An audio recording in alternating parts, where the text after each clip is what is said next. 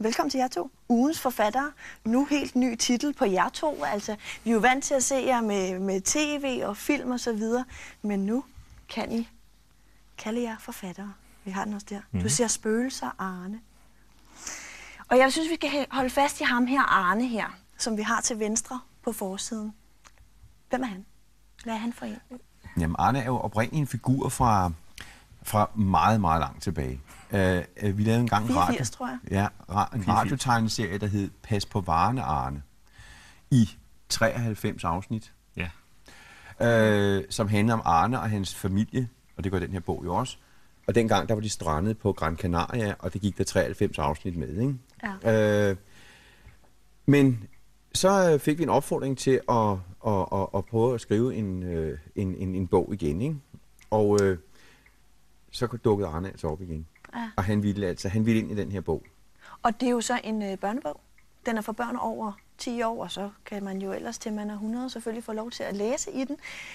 Hvis jeg lige må tage lidt hul på handlingen her i, så Arne, han øh, udsættes jo for noget af det, som nok vil være noget af det aller, aller værste for rigtig mange børn, tror jeg. Mm. At miste sine forældre. Umiddelbart så lyder det jo sådan lidt hårdt. Øh, hvorfor skulle han udsættes for det? Altså, nu har vi jo begge to børn i øh, en bestemt Arnes, alder, øh, i 12-årsalderen. Ikke? Og nogle gange så ønsker disse børn jo forældrene øh, Et hen- vist sted hen. Et vist sted hen. Ikke? Som Og- ikke er på matrikelnummeret. Nej. Og øh, de vil faktisk gerne af. Altså, der, er- der er, er nogle børn, og det lyder jo rigtig underligt, fordi øh, vi synes jo selv, vi er nogle rigtig, rigtig rare og Ja. flinke fædre. Omgængelige, humoristiske, Ja, ja, vennesæle. Ja, Men så står der lige pludselig en og siger, øh, øh, at øh, ja, skrid. skrid. ikke? Ja. Udover at man får et bristet hjerte som voksen, så, øh, så, så var det inspirationen til det der. Tænk nu, hvis Hvad nu hvis? vi ikke var der. Ja. Ja. Og så sker der jo så lidt af hvert, fordi det ændrer jo selvfølgelig Arnes liv, at mm. øh, man kan sige, at forældrene er der ikke til at passe på ham, og der kommer pludselig krisepsykologer, og der kommer tvangsauktion på, på tale. Vi skal se nogle af illustrationerne fra bogen, som man også kan se. Der er selvfølgelig også lavet masser af billeder, og man kan se Arne, ja. og det er så krisepsykologen, vi har der i, i baggrunden. De her emner, tvangsauktion og en krisepsykolog, det er ikke sådan lige noget, børnene tænder på. Umiddelbart kunne jeg forestille mig, hvordan turer I at få de emner med i en børnebog? Jamen, jeg er selv vokset op i en familie, hvor, hvor, hvor, hvor kongens fod, han havde drømmeseng derhjemme, så altså, det er noget, jeg er, Det troede jeg, kender. det troede jeg faktisk aldrig, du ville Det- men, men øh, så, så det kender jeg udmærket, og der tror jeg nogle gange, man har en, en evne til at få sådan noget vendt humoristisk, mm-hmm. for at kapere det. Og så Du, sige, du prøver at se der, der sidder, der sidder tre sagfører, for Ja. eksempel. Ikke? Ja. Jeg er øh, meget ked af det. det er Jesper Delorang, der har lavet de der øh, tegninger, og det er vi jo meget glade for, fordi ja. han har ramt øh, den tone, som vi, vi øh, gerne ville ramme i bogen. Men, men vi, vi, vi, vi, vi, vi tager selvfølgelig også gas på de her, på de her figurer. Ikke? Ja. Altså, det, Men er- det, man er jo nødt til, når man skriver sådan en historie, at sige, hvad vil der ske? Ja. Altså, børn er jo meget logiske. De, vil, de vil stiller nogle meget logiske spørgsmål.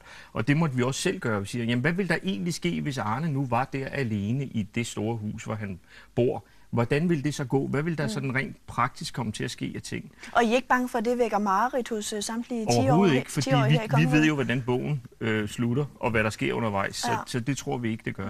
Og det er jo også humoristisk beskrevet, som du Ja, selv siger. absolut. Ikke? Altså, det er jo, det er jo, vi leger jo med det. Ja. Men, men, men, men, men det, det var faktisk en, et, et svar på den der med skrid, ikke? Ja. Altså, øh, øh, øh, og så, jamen, så gør vi det.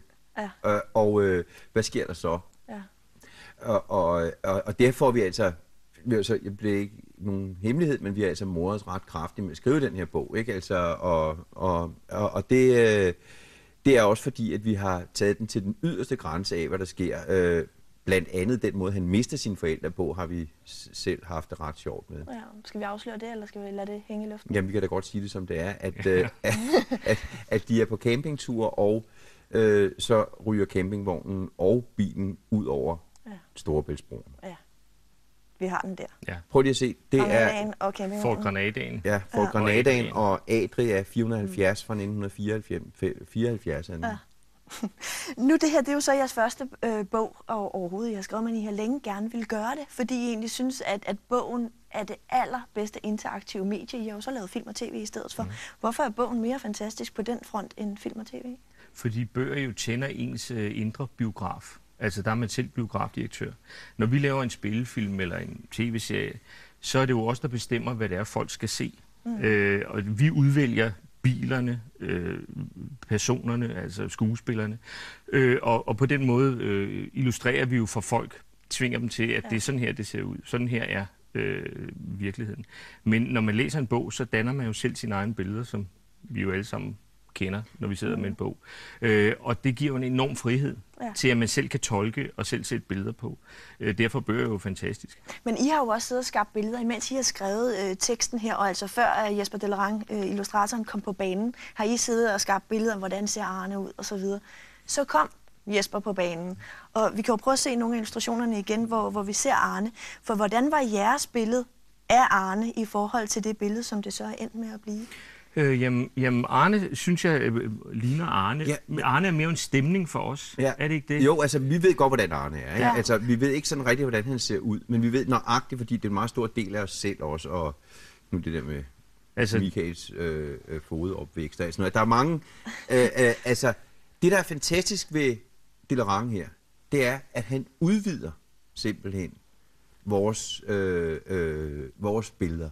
Mm-hmm. Han rammer meget af det rigtig godt, men han udvider dem også. Mm. Det, det må jo svare til, at, en, at man får filmatiseret sin bog på en ja. eller anden vis. Ikke? Det er jo noget, I selv har gjort. Det har vi jo selv. Og det har vi jo også oplevet for forfattere, som så bagefter ser resultatet.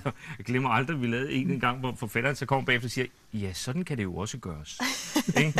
Altså, fordi det har jo sikkert været helt anderledes, end han havde siddet og tænkt det, da han ja. skrev det. Ikke? Ja. Øh, og sådan var det også med illustrationerne her i, i bogen, at der var noget af det, der var anderledes, end vi måske lige havde tænkt os det, mm. men var en tilføjelse. Ja. Øh, og, og det var dejligt. Altså. Men, men hvad er det så, I har gjort? Fordi jeg fortæller mig, at I bruger meget litteratur, når det er, I skal lave jeres film og jeres tv-serier osv. Men hvordan tager I fat på bogen, og så bliver det pludselig til en Jamen, altså, det kan jo være alt, Det kan jo være alt, alt muligt. Altså, altså, vi er nogle meget læsende mænd. Altså, vi læser meget. Og øh, øh, nogle gange, så falder vi over en bog, som for eksempel, da vi skulle, øh, vi faldt over en bog, der hed Dreng med sølvhjelmen, som, øh, som mange børn kender. Øh, og den fik vi selvfølgelig gennem vores børn, øh, og så fik vi læst den, og det, den havde en fantastisk god idé den handler om en dreng, der får en lille søster med vinger. Ja. Ikke? Og den bog filmatiserede vi, men den, der er ikke meget tilbage andet end ideen. Og det snakkede vi med forfatteren om og blev enige om, at det var okay. At, altså, øh, hun sagde, at det ville være fint. Øh, øh, det, det prøver I. Og det kom vi også til, der er faktisk ikke ret meget tilbage af bogen. Det er sådan, jeg opdagede faktisk, at der er lavet en... Der er en grundidé. Det. Ja, ja, der var en grundidé ja. om, om, om drengen. Ja. Men til gengæld, så, øh, så får vi fortalt en historie fra vores univers på hendes idé. Mm. Og sådan tror jeg, det er. Mm. Altså... Og det, der er vidunderligt ved det, det er, at begge ting står tilbage som selvstændige værker. Mm. Der er en bog, som stadig, stadigvæk er et selvstændigt værk, som vi på den måde ikke har været ude at befamle og, og ja. rive sider ud og tilføje i osv. Og, og så er der en film, som også står som selvstændig mm. Så er der ingen sure miner fra forfatterne, nej. når I har været i gang? Nej, nej ikke, ikke det, vi har oplevet i hvert fald. Og vi har også oplevet nogle rigtig gode ting, som for eksempel øh, har vi lavet den øh, film, der hedder Hannibal og Jerry på en bog af, ja. Af Kim Fubs, Kim Fubs Åkesson. Og den, øh, han, han, jeg vil snakke med ham for nylig, og han er stadigvæk rigtig, rigtig glad for den udgave af det der mm. øh, materiale, ikke? som han ikke selv havde fundet på, som mm. vi tilførte det på film. Ikke? Ja. Men så må jeg jo lige høre, altså nu øh, kan jeg jo godt høre, I, I synes det er ret sjovt, det der med at lave bøgerne om til film og sådan noget, mm. men kommer der flere af jeres egne bøger? Ja, det gør, det, der. det gør der nok. Fordi vi har fat på noget med ham og Arne her. ja. Altså nu er han først midt til sine forældre, og når man starter der, så kan man altså komme vidt derud af. Der kommer til at ske mange ting. Ja. Jamen, uh, tusind tak for besøget, og tillykke med jeres uh, første bog. Tak skal du have. Tak.